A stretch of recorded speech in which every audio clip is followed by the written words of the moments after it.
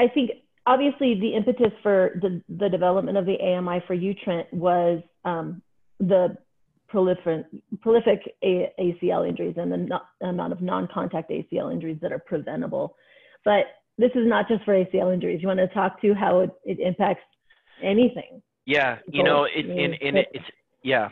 So uh, originally, um, you know, obviously my my my passion uh, has been around preventing ACL injuries, and uh, what we found is that when you improve biomechanics, guess what?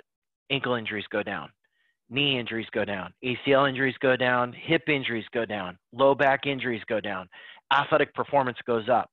So you know, um, we've got uh, again, we've got multiple studies going on um, and what one of the things that we do with all of our studies uh, is that we tap into uh, we do this mostly at college at the college level, um, and for multiple reasons, control variables, et cetera. But the other thing is is that we track um, cost, healthcare cost that's associated with our intervention. And one of the things that we're seeing is we're saving an average of about 44% in healthcare cost uh, for a university. And that comes from multiple things. And again, we're measuring all these. It comes from multiple things. Number one, we're reducing surgeries.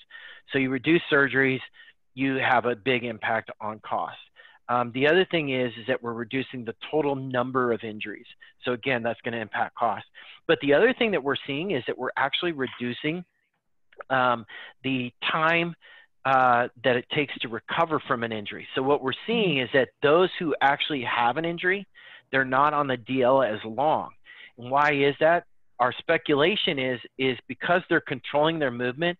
When they actually do suffer an injury, it's not to the same magnitude as it would mm-hmm. normally be. And so what we're seeing is that the average day, uh, average days on the DL after an injury occurs is actually less than it was before.